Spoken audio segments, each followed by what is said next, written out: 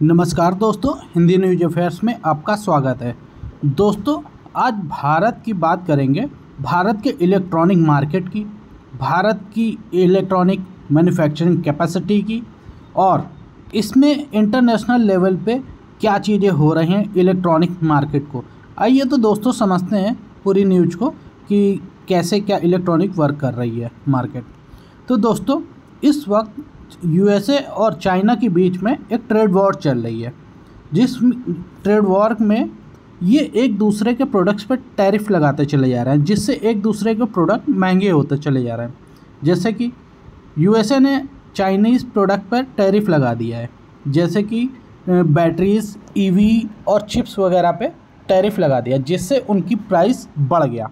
तो अब कोई भी यूएसए का पर्सन चाइना से ये सामान अगर ख़रीदेगा तो उसको बढ़े हुए प्राइस देने होंगे, यानी कि उसकी कॉस्ट बढ़ जाएगी। और वैसे ही चाइना ने भी यूएसए के प्रोडक्ट पर टैरिफ लगा दिया है काउंटर तो इसकी वजह से चाइना में भी उसके प्राइस बढ़ चुके हैं। तो दोस्तों, इन दोनों की वजह से अब जैसे प्राइस बढ़ गए डिमांड तो अभी भी है यूएसए में तो क्या वो डिमांड जो है उसको कौन मिट आउट करेगा? तो उसको मिट आउट करने के लिए भारत एक बहुत अच्छा विकल्प है यूएसए के पास भी और यूएसए उस कदम इस तरफ़ काम भी कर रहा है। दरअसल यूएसए ये चाहता है कि वो अपनी डिपेंडेंसी चाइना के ऊपर से कम कर दे। अगर बात करें 2022 में तो यूएस में इलेक्ट्रॉनिक मशीनरी और इलेक्ट्रॉनिक इक्विपमेंट्स चार सौ उनचास बिलियन डॉलर के ख़रीदे गए, जिसमें सबसे बड़ा चंक जो था, वो चाइना से था। चाइना ने अकेले 139 बिलियन डॉलर के इलेक्ट्रॉनिक गुड्स चाइना को बेचे यूएसए को बेचे। इसके बाद और दूसरी कंट्रियों के नाम आते हैं, जैसे कि मैक्सिको, वियतनाम ताइवान, इस तरह की कंट्रीज़ हैं जिन्होंने सप्लाई किया है यूएसए को, इलेक्ट्रॉनिक गुड्स।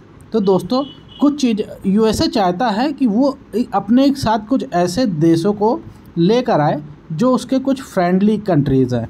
और उनके साथ मिलकर कंप्लीट सप्लाई चेन को अच्छी करे और उनके साथ इलेक्ट्रॉनिक गुड्स का ख़रीद और बेच करे। जैसे कि फ्रेंडली ऑफशोरिंग ये होती है कि जो भी उसके मिलने जुलने वाले देश हैं, जो उसके दोस्त कंट्रीज़ हैं, उनके बीच में कंप्लीट सप्लाई चेन स्मूथ हो जाए और कुछ चीज़ें जहाँ पर बनती हों, वहाँ बनानी चाहिए। जहाँ जिसको भेजना हो, वहाँ भेजना चाहिए। जैसे कि इंडिया मोबाइल मैन्युफैक्चरिंग में सेकंड लार्जेस्ट मैन्युफैक्चरर है।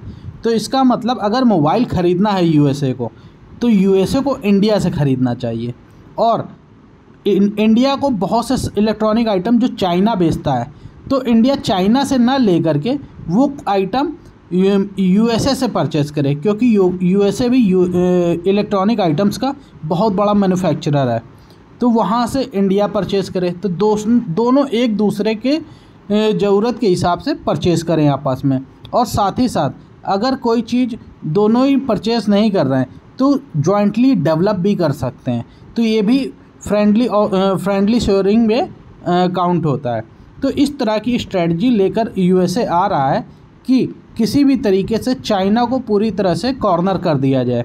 और ये दोस्तों बहुत ही ज़्यादा ज़रूरी भी है चाइना को कॉर्नर करना, क्योंकि चाइना ने पूरी तरह से कब्जा रखा है। वो एक मैन्युफैक्चरिंग हब बना हुआ है और चाइना पे कोई भी किसी भी तरीके से विश्वास नहीं किया जा सकता है, क्योंकि चाइना एक एग्रेटर, एक एग्रेसिव देश है। बहुत ज़्यादा एग्रेशन रखता है।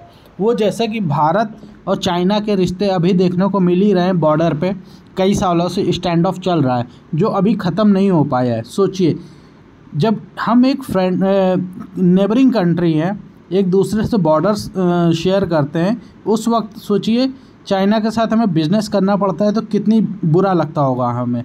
और उसमें भी हमें ट्रेड डेफिसिट सहना पड़ता है। मतलब कि हम चाइना से इंपोर्ट ज़्यादा करते हैं और एक्सपोर्ट कम करते हैं।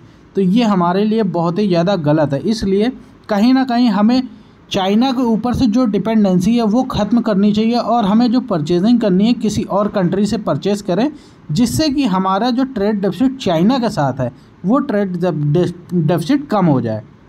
साथ ही साथ कोई दूसरा हमें मार्केट भी मिलेगा, क्योंकि अगर हम दूसरे कंट्री से परचेज़ करने जाएँगे तो हम उसे कुछ ना कुछ चीज़ें अपनी बेचेंगे भी।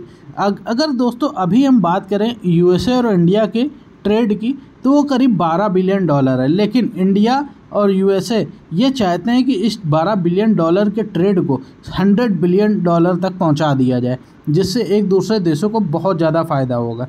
अच्छा दोस्तों, बात करते हैं कि जैसे जॉइंटली डेवलप करते हैं किसी प्रोडक्ट को तो यूएसए अगर इंडिया में अपनी कोई मैन्युफैक्चरिंग यूनिट खोलना चाहता है, क्योंकि वो अपनी मैन्युफैक्चरिंग यूनिट्स चाइना से बाहर कर रहा है तो अगर वो इंडिया में लेकर आता है तो उसको कई चीज़ें का फ़ायदा होगा। जैसे कि इंडिया में उसको चीप लेबर मिल जाएगी मतलब जो कॉस्ट है लेबर की, वो बहुत ही ज़्यादा कम होगी। साथ ही साथ उसको अच्छी खासी स्किल स्किल्ड लेबर मिल जाएगी, क्योंकि यहाँ पे लोगों के पास स्किल भी है और इफ़ेक्टिवली वो काम भी करते हैं और सबसे अच्छी बात यहाँ की जो गवर्नमेंट है, वो स्टेबल गवर्नमेंट है।